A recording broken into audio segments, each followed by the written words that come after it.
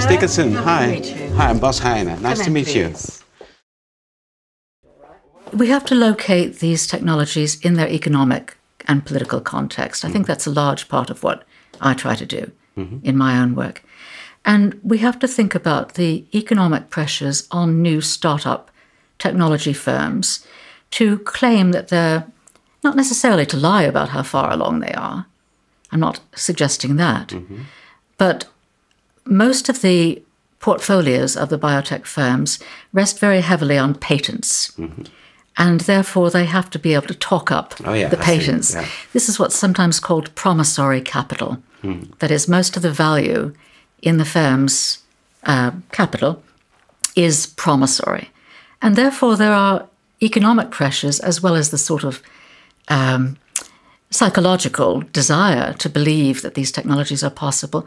There's also quite strong reasons for researchers and the funders who back them, the trusts or the governments who back them, to um, to indulge in hype, to say that the technologies are further along than they really are. Now, in some cases, they may well be, but I think we always have to stand back and say, well, what is the actual state of the science? I don't think it's actually ignorant or fearful to do that. I think it's actually being respectful of the science. If the science is strong and robust, it will stand up to that examination.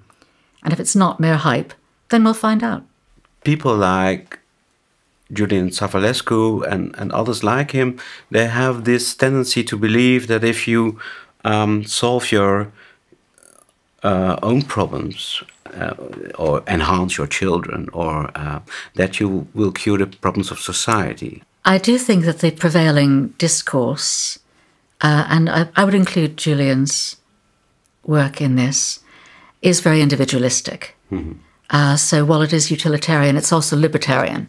It's very strongly libertarian, I think. Yes. So that choice is a supreme value.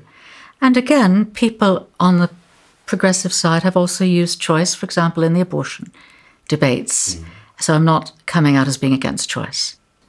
But I do think that this individualistic slant means that we do often, as you say, lose sight of the social picture, the broader social picture, the broader economic picture. That was why I brought up the issue of the promissory capital in biotechnology firms' uh, portfolios, because I do think that it's important that we look at the economic reality behind the development of these new technologies. After all, they're either funded by the state or by private capital. So it's reasonable that in either case, we look at what those interests are. Mm-hmm. I, I never use the argument that it's unnatural, because I think that's also a bad argument.